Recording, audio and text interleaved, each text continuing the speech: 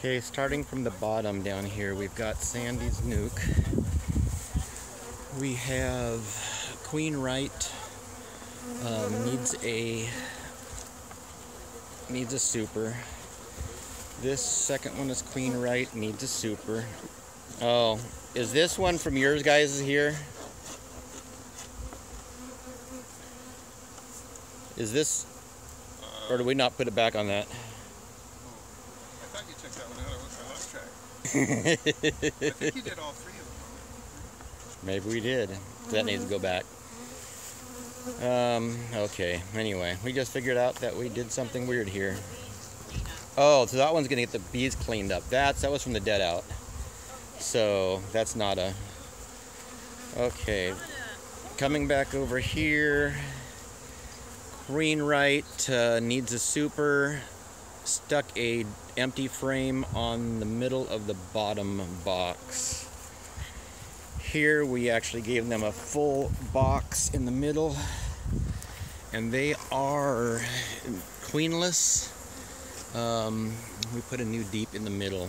They're starving for space. It looks like they probably swarmed.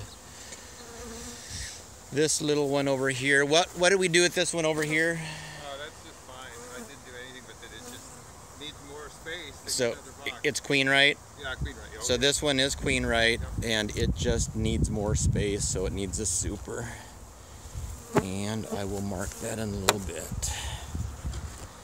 This one here is so packed full of honey and drone brood that uh, we added a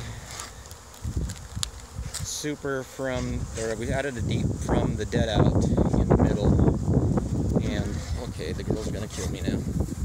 And it is queenless, and it's got probably four or five swarm cells uh, in it because there are no no eggs. There is some drone larva in this one. The one that was next to it was a dead out, and so we stuck this box from the dead out, and we're emptying, cleaning this one over here out, the frames, for later. I'm thinking just put the box back on. This fine. Any queen here that we know of, or just I would assume. Yeah. okay? I think we can assume that pretty safe. We are at the point right now of not having a lot of sun to see in the cells to see what's going on. So the two of these need to have for sure extra boxes and supers. So um, we're about to tie it up for tonight. So.